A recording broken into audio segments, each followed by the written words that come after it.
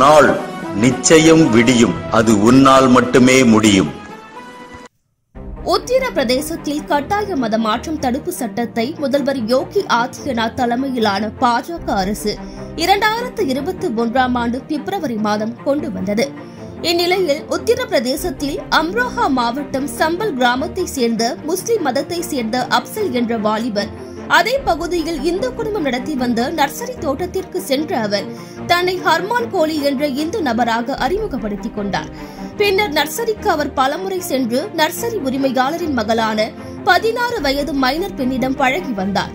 திருமணம் செய்து கொள்வதாக ஆசை காட்டி மைனர் பெண்ணை வாலிபர் இரண்டாயிரத்து இருபத்தி ஒன்றாம் ஆண்டு ஏப்ரல் இரண்டாம் தேதி கடத்தி சென்று விட்டார்.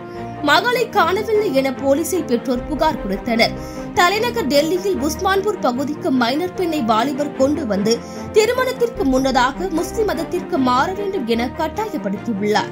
இதன் பின்னரே அவர் முஸ்லிம் வாலிபர் அப்சல் என அந்த மைனர் பெண்ணுக்கு தெரிய வந்தது. மதம் மாற மைனர் பெண் மறுத்துவிட்டார்.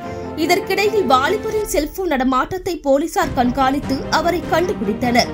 அம்ரோஹா மாவட்ட போலீசார் விரைந்து வந்து மைனர் பெண்ணை மீட்டு வாலிபரை கைது செய்தனர். இரண்டு நாட்களுக்குள் மைனர் பெண் மீட்கப்பட்டு பெற்றோரிடம் ஒப்படைக்கப்பட்டார். வாலிபர் மீது போக்சோ மற்றும் கட்டாய மதமாற்றம் தடுப்பு சட்டத்தின் கீழ் வழக்கு பதிவு செய்யப்பட்டது.